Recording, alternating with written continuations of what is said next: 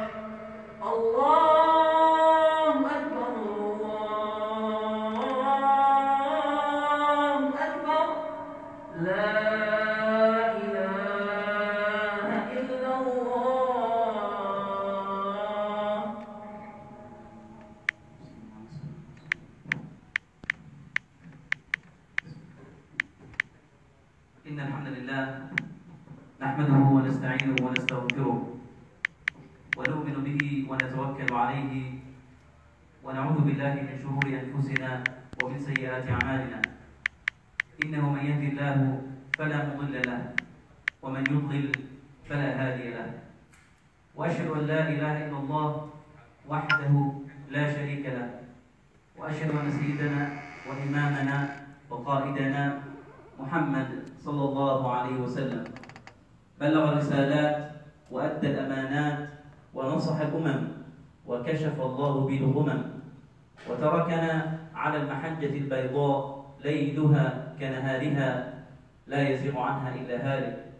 وبعد فإن أفضل الحديث كتاب الله. وخير الهدي هدي محمد صلى الله عليه وسلم.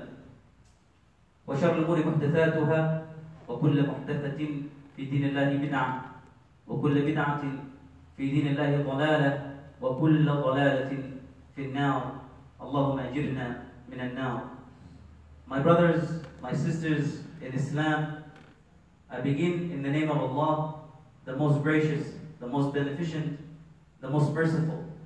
And I send my peace and blessings upon the beloved Muhammad sallallahu alayhi wasallam, acknowledging that whomever Allah guides, none can misguide. And whomever Allah allows to go astray due to their own wrongful actions, sinful desires, and inclinations, none can guide back except Allah subhanahu. My brothers and my sisters, the masjid misses you as much as you miss the masjid.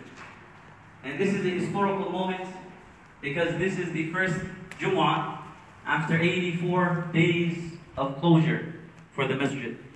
So bear with us and be patient with us as we try to open up, make the masjid accessible in a way that preserves the sanctity of every Muslim and human life.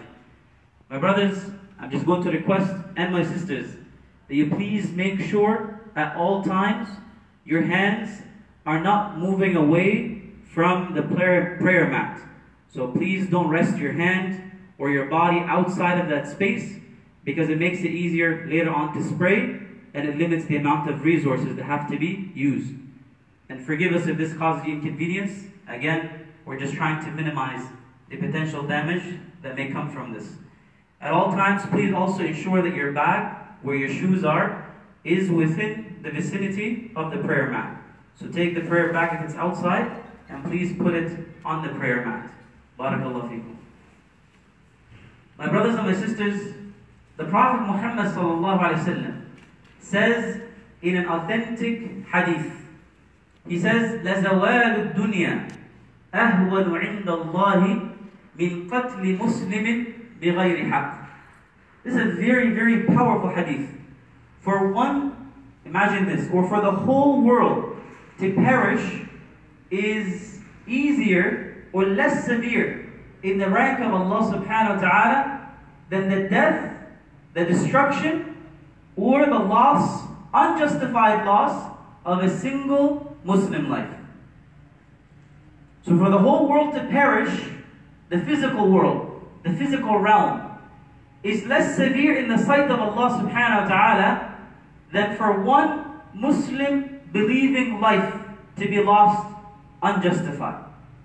In another hadith which is authentic, the Prophet Muhammad taught the companions, he taught the companions that it is less severe, less sanctity associated with the destruction of the Kaaba than the loss of one single life. Now imagine if the Kaaba is being destroyed in front of your eyes. What pain would that cause? If you were to turn on the TV, or imagine you were to go and you were to see the Kaaba being attacked and destroyed, it would definitely evoke a response sorrow, emotion of some kind, anger. Yet, we turn the TVs on and off, we look at the news on and off, day by day, whether in print or digital media, and we see the names, the ages, the individual faces of Muslims and people of all backgrounds and religious affiliation and no religious affiliation dying, but specifically Muslims dying everywhere in the world. and it's become something we accept.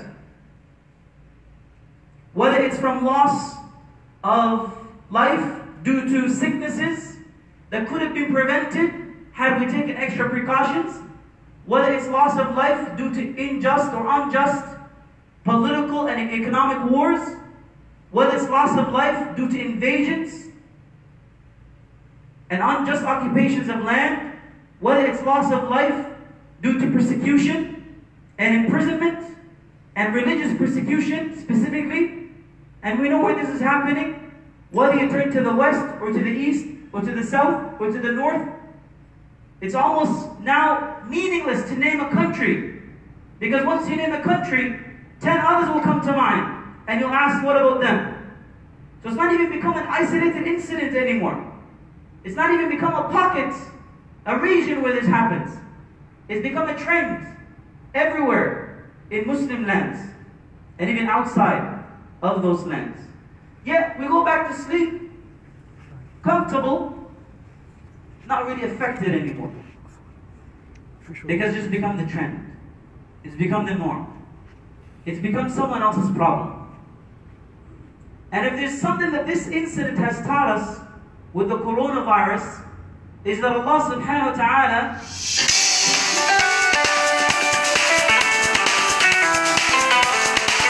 look how quickly the world that we became so familiar with came to an end. Look how quickly we were able to adapt to working from home, to turn to new careers, and adapt within days. Even here at ISNA, individuals that we see day to day had to quickly change, completely shuffle their job descriptions. And if there's one thing that this teaches us, is that Allah subhanahu wa ta'ala is capable of sending messages and bringing the things that give us so much comfort and luxury and privileges, things that we take for granted, to an end. And just like Ramadan, it teaches us that many of the things that we think we need, we don't need. And many of the things we need to pay attention to, we ignore, displace, and look at other things and focus on other things and realities. My brothers and my sisters, anything that happens in the physical realm is connected and is in the power and within the ability and the command of Allah subhanahu wa ta'ala. Anything. So Allah subhanahu wa ta'ala is capable. Allah subhanahu wa ta'ala sends divine messages in every incident that happens around us. And this is an opportunity to sit back and reflect and ask, what is Allah subhanahu wa ta'ala communicating to me? And how can we as Muslims be better? How can we as Muslims be organized? How can we as Muslims rally and unite upon that which is true? وَاعْتَصِمُوا بِحَبْلِ اللَّهِ جَمِيعًا وَلَا تَفَرَّقُوا Hold on to the rope steadfastly of Allah subhanahu wa ta'ala, the Quran and the Sunnah, and do not divide. وَاذْكُرُوا نِعْمَةَ اللَّهِ عَلَيْكُمْ إِذْ كُنْتُمْ أَعْدَاءً فَأَلَّفَ بَيْنَ قُلُوبِكُمْ فَأَصْبَحْتُمْ بِنِعْمَتِهِ إِخْوَانًا And remember there was a day in which you used to be divided enmity and animosity towards one another. But Allah subhanahu wa ta'ala granted you out of His rahmah the ability to love one another. وَأَلَّفَ بَيْنَ قُلُوبِهِمْ And you became brothers and sisters, siblings in faith because of this. Let us not take that unity for granted.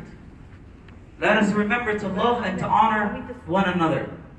Let us remember to connect to one another and take the